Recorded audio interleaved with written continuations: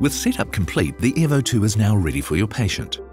The Airvo 2's power cord should be well secured to the rear of the unit before plugging into the mains utility power socket. Switch on the Airvo 2 by pressing and holding the on-off button for 5 seconds. The unit will show you whether it is safe for use on a new patient. A green light indicates that the Airvo 2 has been disinfected correctly since it was last used. However, do not use the Airvo 2 on a patient if the orange light appears.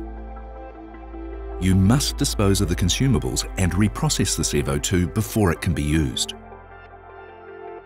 After confirming the Airvo 2 has been correctly reprocessed, you will need to adjust the patient's settings to match the treatment required.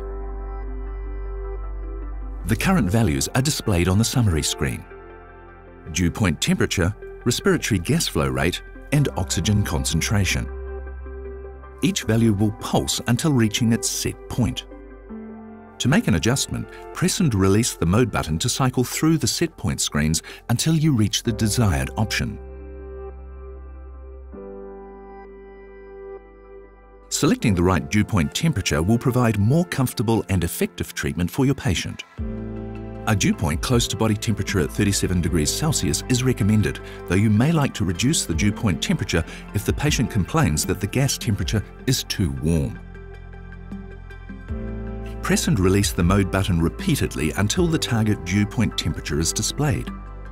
This padlock symbol indicates that the setting is locked to prevent accidental changes. Press and hold the up and down buttons for 3 seconds to unlock the setting the lock will disappear and be replaced by an arrow showing the minimum and maximum accessible settings.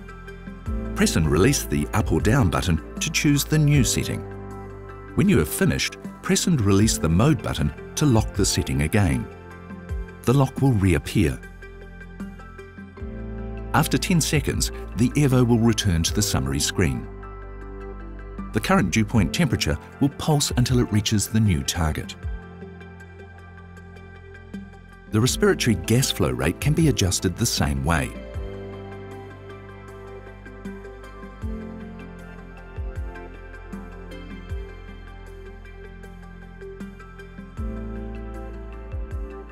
Press and release the mode button again or wait 10 seconds to return to the summary screen. For patients that require oxygen as part of their treatment, you can connect the wall supply to the oxygen inlet port on the side of the unit now. Make sure you push the oxygen tube firmly onto this connection port. Be sure to read the oxygen warnings in the Airvo 2 user manual before using oxygen.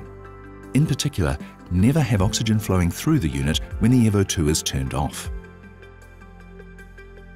When changing the oxygen concentration, press and release the mode button repeatedly until the large oxygen view is displayed.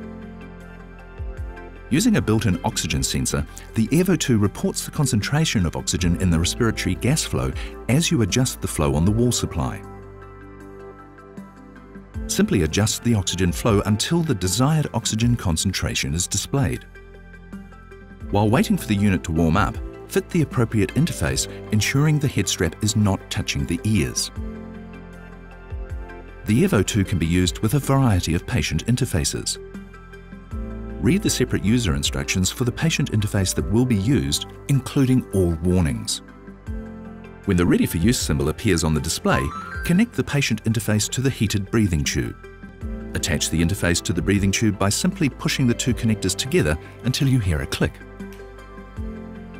The gas delivered will feel warm when the patient first uses the unit. This is typical. They should simply continue to breathe normally. If the patient will be using an Optiflow Junior nasal cannula, you must activate Junior mode.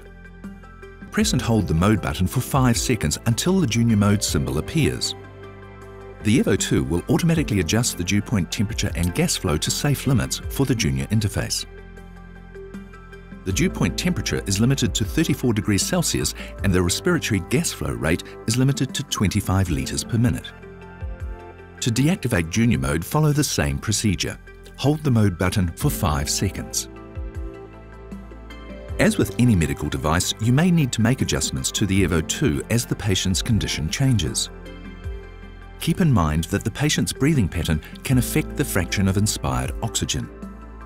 For this reason, you should always use a pulse oximeter and adjust the oxygen flow rate to maintain the appropriate blood oxygen saturation in your patient. The Airvo 2 has been designed to be as reliable as possible and will automatically raise an alarm when a problem is detected.